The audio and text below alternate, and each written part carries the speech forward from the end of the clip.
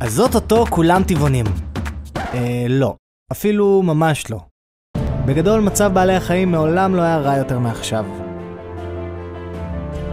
וזה לא שעד היום לא עשינו דברים, זה שעד היום לא עשינו דברים גדולים. והגיע הזמן שנעשה דברים גדולים. הגיע הזמן שנזיז דברים. הגיע הזמן שנרים שלטים באיילון. הגיע הזמן שנגיע לאנשים מכל הכיוונים. הגיע הזמן שישמעו אותנו, אמא, את יודעת ששניצל מסרטן? ושיראו גם אותנו בטלוויזיה.